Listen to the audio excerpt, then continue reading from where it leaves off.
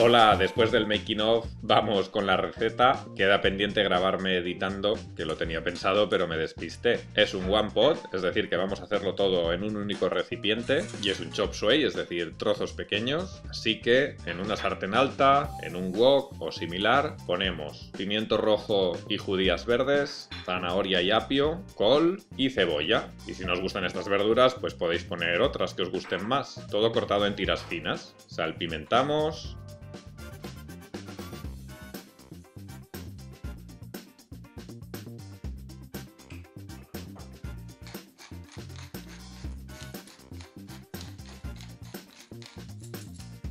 y vamos a aromatizar con una cucharada de ajo en polvo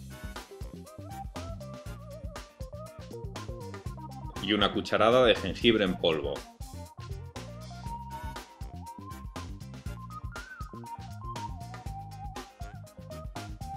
Un buen chorro de aceite de oliva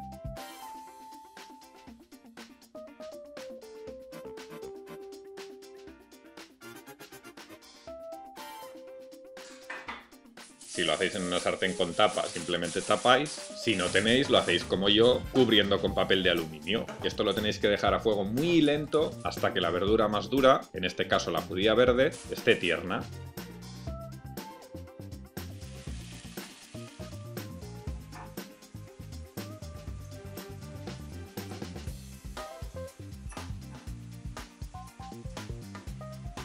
En ese momento descubrimos y añadimos los fideos finos. Si añadís gruesos tardará más y tendríais que añadir más agua. Añadimos agua justo para cubrirlos. También un par de cucharadas de salsa de soja y subimos el fuego para que rompa el hervor.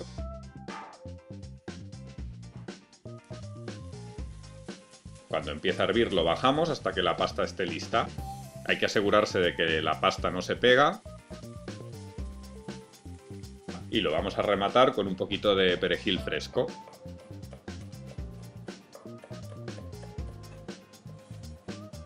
Lo picamos, lo añadimos y esto ya está.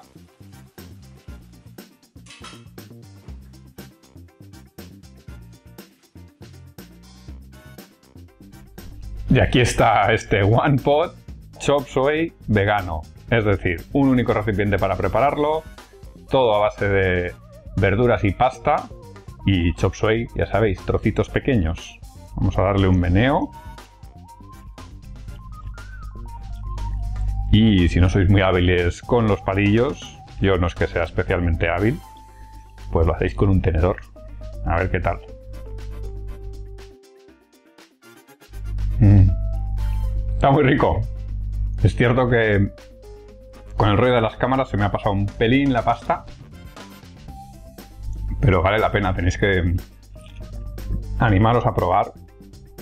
Yo le hubiera puesto un toque picante, pero bueno, eso es voluntario. Y a seguir, bueno, hasta luego.